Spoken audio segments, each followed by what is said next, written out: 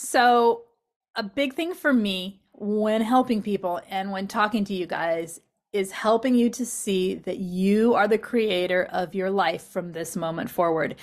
I would hope for and wish for each of you to have the experience and to begin to gain the positivity in your life and the joy in your life that you need to move forward in a positive way for yourself and to be able to take control and to be able to freely live your life outside of this toxic junk that has been put all over you from toxic people in your life, whether it be from the day you were born or later in life and forever, however long it happened to you. So, one thing is creating intention for your life. So, let's talk about what that is intention versus goals. Goals are doing, they're a task list. Okay. Intention is the inner reason for why you're doing it, it is the deeper feeling of resolve, of being. You know, it is your your sense of self moving through and choosing to do things. It's your intent.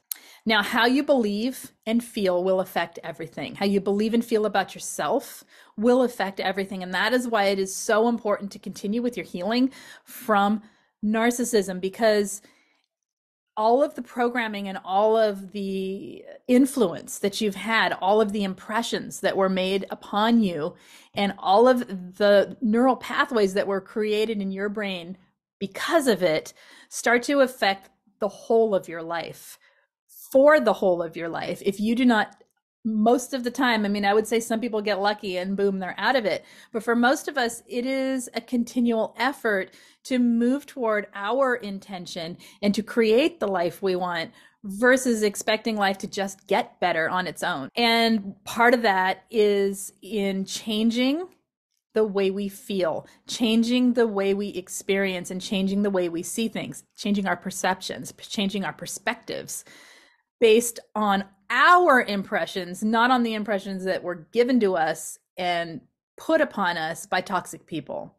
How do you get there if you've always had that? So, how do you even know what your impressions are, what your perspective is? Your perspective, your authentic you-ness coming through and having an opinion, having a perspective, having a viewpoint if you've always been told what to think and what to believe and that you're wrong and all of that. It takes effort and it takes time. It's about being present to your own life and present to your own experience and getting to know who you really are so that you can filter things through that instead of through what you're told you are.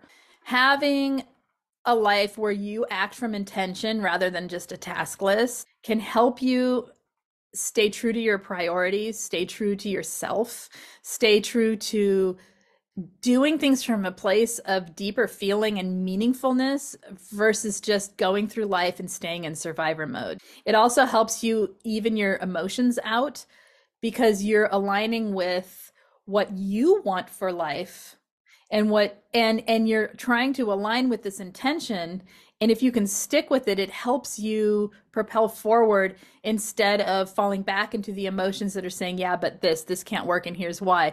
It basically gives you drive and motivation to move forward when you live life with more intention.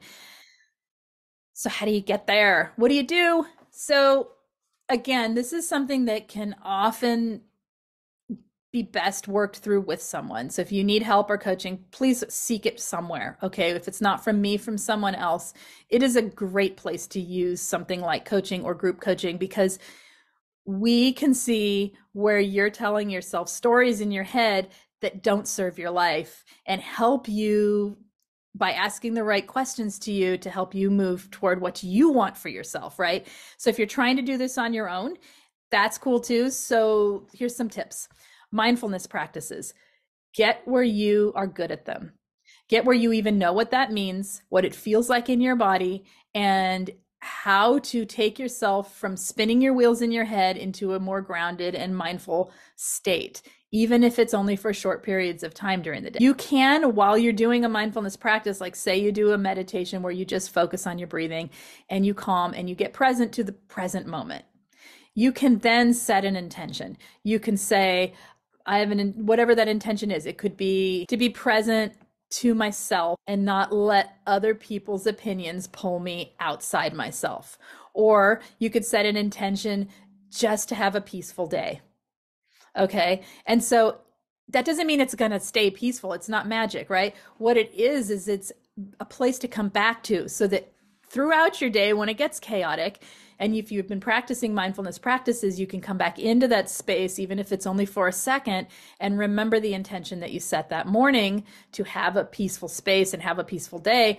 And then for a few minutes, you might actually achieve that. Okay. Or you might remember it in chaos, and that might bring you back to remembering you need to do another meditation or another mindfulness practice to help yourself calm and ground and be more present and then things become more peaceful. So see it is um, these are tools to help you get out of the survivor frantic mindset of clinging to life into a more positive creative mindset of building the life you want to live.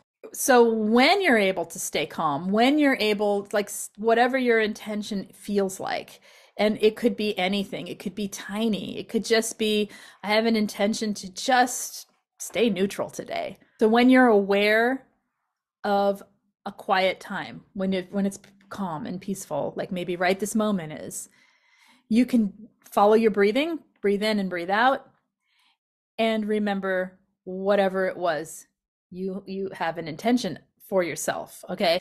The other thing is when we act in life and when we're speaking in life you know what i mean by intention when when i'm telling you like if you're talking to somebody else and you're trying to get your point across and your intention is to help them or to be kind to them or to offer some wisdom or offer some understanding or offer support whatever it is to that other person that's the feeling of intention. So we have to start directing that toward ourselves as well, toward our own life.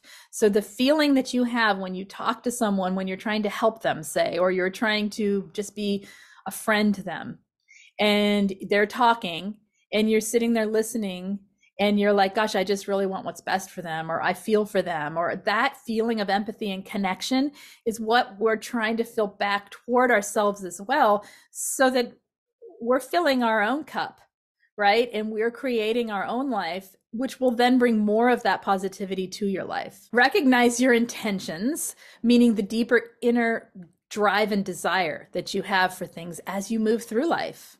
Don't just go through life on automatic pilot, right? Recognize that you have an intention inside of yourself. You have a deeper, meaningful place inside of yourself for most of the things that you're doing and recognize that so that you can put word to it or at least recognize the sensation in your body. It gives you a deeper sense of yourself and it it if it isn't right for you like when you're not feeling that it'll have a different sensation in your body and then you can come back to it so that your life is moving forward instead of you know running around on the hamster wheel trying to figure out how to get unstuck so sometimes when you're doing things, you got to let go of the outcome.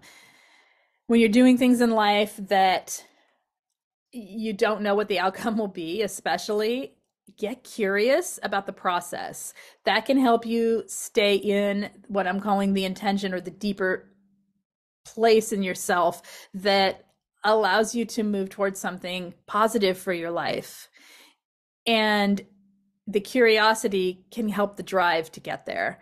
And remember, the details are not your business sometimes. The details fall by the wayside sometimes about how to do this. Just allow yourself to try something new. And by allowing yourself to try something new, like, say, this practice, you are setting an intention of changing your life, of changing things for the better.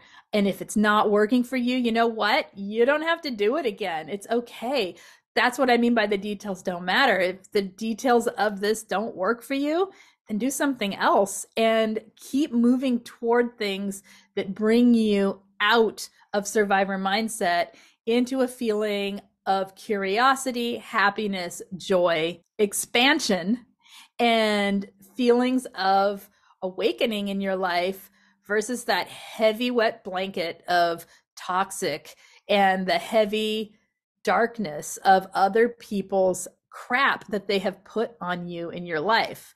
Okay, I am Lise Colucci, and if you need anything, check out the information in the main description of every video. You can figure out how to reach me there and all of that. If you need coaching or group coaching, info's there. Peer support, info's there. Otherwise, I will see you guys next time. Hit subscribe and hit the thumbs up. Bye bye.